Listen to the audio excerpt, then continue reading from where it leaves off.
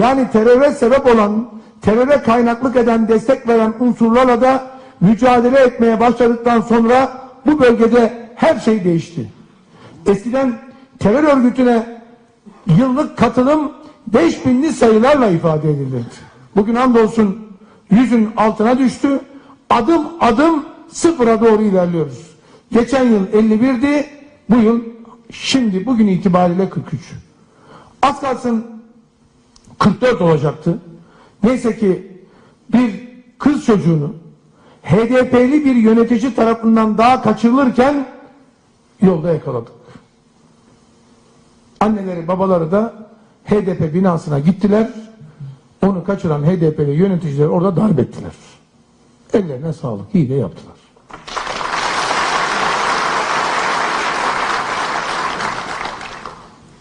Hani ben bir keresinde bir o çekmiştim ya para- paralar PKK'ya gitmiyor diye. Şimdi bir oh daha çekiyorum. Gençler PKK'ya gitmiyor. Öğretmenliğe gidiyorlar. Doktorluğa gidiyorlar. Eczacı olmaya gidiyorlar. Hemşire olmaya gidiyorlar. Ve bu ülkenin yarınlarına katkı koymaya gidiyorlar. Festivallere gidiyorlar. Dinini, inancını öğrenmeye gidiyorlar. Üniversitelerde hocalarıyla beraber yarınlara ümit vermeye gidiyorlar. Sadece bu coğrafya değil, Allah şahittir ve burada huzurunuza söylüyorum.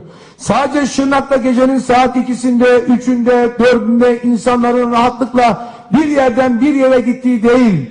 Biz etrafımızdaki coğrafyaya da ümit veriyoruz. Bu salon etrafındaki coğrafyaya da umut veriyor. Amerika Irak'a geldiği zaman demokrasi getireceğim diye geldi. Amerika Afganistan'ı işgal ettiği zaman barış getireceğim diye, kardeşlik getireceğim diye geldi. Bugün Irak'taki kardeşlerimizin durumunu görüyoruz. Afganistan'daki kardeşlerimizin durumunu yıllarca o barış getireceğim yalanı içerisinde gördük. Burada hepinizin huzurunda söylüyorum.